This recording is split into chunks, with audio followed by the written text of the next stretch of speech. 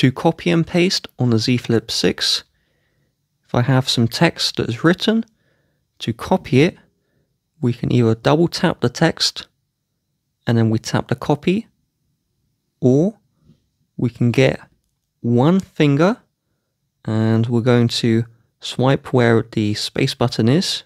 So we'll swipe like this and then with my other finger I'm going to hold on the keyboard and then I'll swipe across and so we can then finally select what we want and then we release.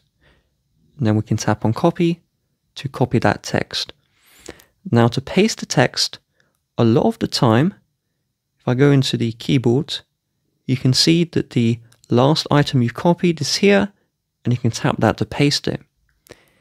If not, if you tap on the empty space and then tap again, you will have the option to paste here. You can also long press and you can tap on paste or you tap this clipboard icon and this will show your clipboard history and so you can tap that to paste your text as well.